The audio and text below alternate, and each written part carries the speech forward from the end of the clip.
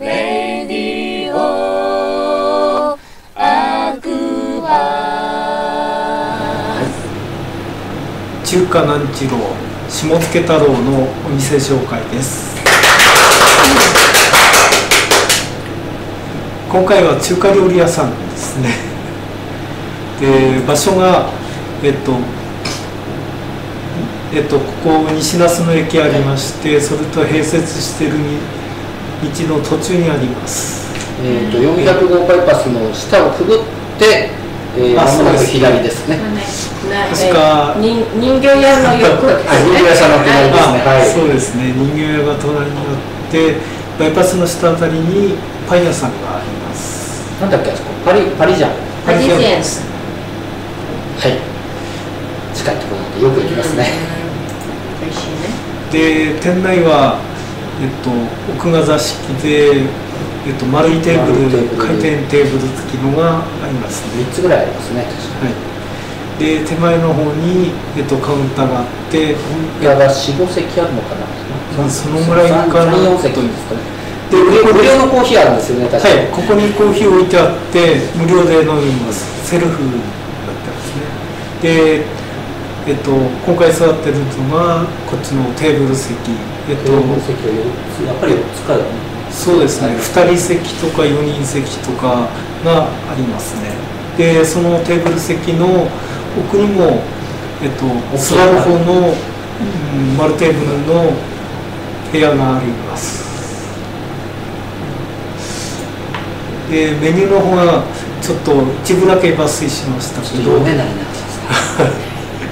えっと、ご飯物ですね。チャーハン類とか、えっと、中華丼とか。中華丼とかかけたやつ。で、えっと、23人分ぐらいのスープ類卵スープとかコーンスープとかあとフカヒレスープがあります。で麺類が結構ありますね。ありましてそうですね。でこちらが中華丼セットなんですけどどこまでちゃんと回ってくれるかなえっとこれが。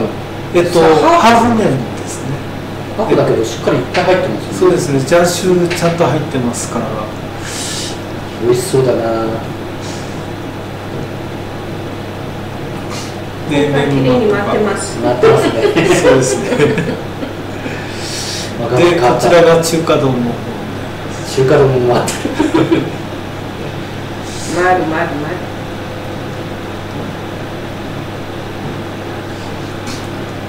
でハーフ麺よりもの皿の大きさは大きいですねこちら並みだと思います普通の中華丼にハーフ麺がついたセッそうですトね。で他にもなんかつい全てますね。体はい他にもなんかついてます。あはいえっ、とサラダと杏仁豆腐とえっ、と漬物ですね。それでいくらだった？えっと千あれいくついくらだったの？今回名前、うんうん金額入れてないんで。はい。はい多分1200円前後だったと思います、でこちらがスタミナにんにく入りラーメン。これも美味しい美味しいですね。えっとニラとお気に入りですね。はいニラと揚げた、えっと、豚肉とニンニクが入ってニンニクがうまいんですよね。あと食感ああ、再生がギザギザ。えっとタケノコ類が入ってます。決してあのなんだろう卑猥なものを写してるわけじゃないんで 気にしないでください。そうですね。ちょっと飛ばしちゃいましょう。写真の方ですとこんな感じで。ああと長ネギも入ってる。ニンニクが美味しいね。はい香ばしいで麺はちょっと固めでコシが強い感じ。シコシコして美味しいです。ね。さあこれはどうだえってと。牛肉ピーマン麺。えっと実質的にチンジャオロースが乗ってるラーメンですね。贅沢なはい。中国4000年の歴史。というかこうこういうラーメンっていうのは初めてここでしか食べたことないですねチンジャオロース乗ってるラーメンって他は知らないん。ですけど僕は結構ねラーメンはラーメンで、はい。あのチンジャオロースはチンジャオロースで食べたいかなって気がしますね。でもこう一緒に食べられるっていうのはちょっといいですよね。贅沢贅沢というか、うん。一緒に食べちゃう。でこれは結構油が多めになってますね別に頼むと高いし、い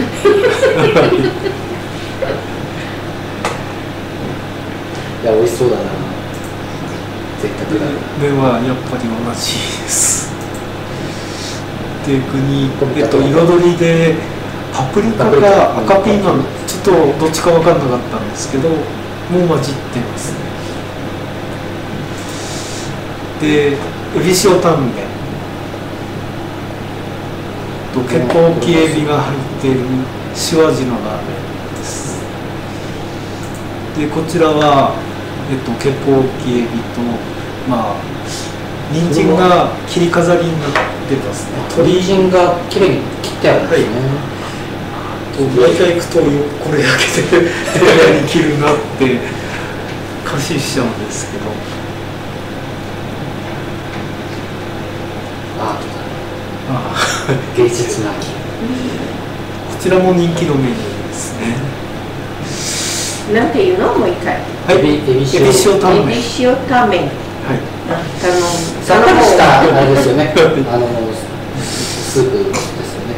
塩味飾りだけ見見に？とろみえっと中華なんちろ栃木県那須塩原市田湯塚3の204の16で電話が028737の6707で営業時間が11時半から14時半と17時から21時30分になります。で火曜日定休ですね。でなんちろっていう名前は、えっと、宇都宮にもあるんですけど、えっと、系列店かなと思って聞いてみたらお友達だそうです、えっと、系列ではないっていうことで。でなんちろさん自体が西那須に来る前宇都宮で店持ってまして、えっと、それが近かったらしいですね。で場所は大えっと今小島電機が移る前の近くどの天気ですえっと宇都宮東のベルモンに行く途中にある小島電機昔、えっと、道の反対側にあったんです。確か安全なんですか。はい。あの辺だそうです。今もじゃあ南次郎さんっていうのがあるんですね。あ。そのお友達のああります。えっとあとは東京にもあるらしいですけどそちらもやっぱりお友達の店だそうです。系列ではないけど、知り合いのお友達。であと栃木市にもあったらしいんですけどそちらは今もうやめちゃってるそうですで写真見ると結構メニューは似てるやつがあるんですけど、宇都宮の方は、えっと、定食ものが人気あるみたいですね、まあ、大学近いんで、まあそうですね。お一人様行くとはい。そういうのが多いかもしれないけど、ただ僕なんかあの何人かで行っていろんなの取って食べるのが好きなんで、えー本格中華食べられるから南知郎さんはそういう形で行くことが多いですねえっと、以上今回は中華南次郎さんでした。はい、ありがとうございました。じゃあこちらはい。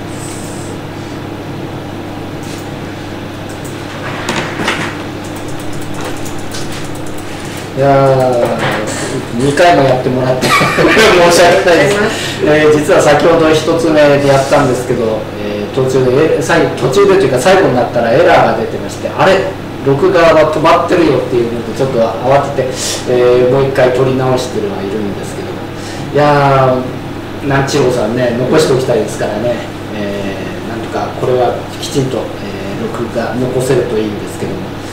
いやー食欲の秋ですね。美味しそうなのがいっぱい。やっぱり麺類が多いですか？あそうですね。私は 南千郎さんのね確かにあのシコシコして美味しいっていうのはありますけど、そうだな僕は結構ご飯もの食べることが多いかな特に好きなのは高菜チャーハン好きなんですけどねそれとあと他にいろんなチンジャオロースだとかねあはい油淋鶏とかね小籠包いいですね餃子は捨てられないですねでいろんなのを考えて取ってたんでさっきスープの話もありましたね大きなスープをこう分けて取っスープやラーメンは除いて他の大体の料理はそういえば持ち帰りもできるんですあ持ち帰りできるんですね、はい。それはやったことないな、結構事前に電話して、えっと、取りに来る人って見かけます。持ち帰りじゃなくてねあの置き忘れしたことがあって帽子だったかなんかいく何かをねこうバッグだったかなんか忘れてね結構大事なものを忘れてて、あの電話したらありますよって言われて。いうのがあってよく言ってますね。えー、10分ほどになりましたね。えっ、と9時過ぎましたね。えーこれはちゃんと録画したいと思います、えー最後のお別れの挨拶をして、えー締めたいと思いますね、えーブラジルポルトガル語で。チャ週末オねいろいろありますけど。あ台風近づいてますけど。気をつけてお出かけください。チャオチャオアクアスデレレデンアクアスエイトドゥワー